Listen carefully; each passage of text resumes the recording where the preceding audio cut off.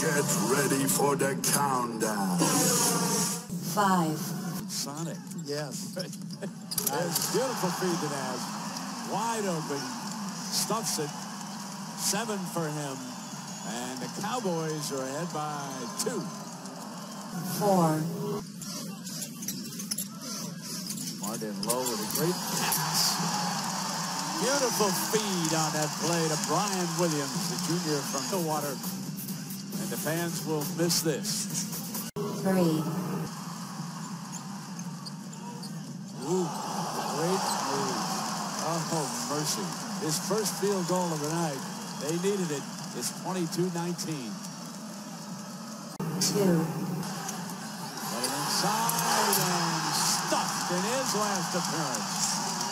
Mason Cox from Flower Mound, Texas. That's great to see the crowd on their feet.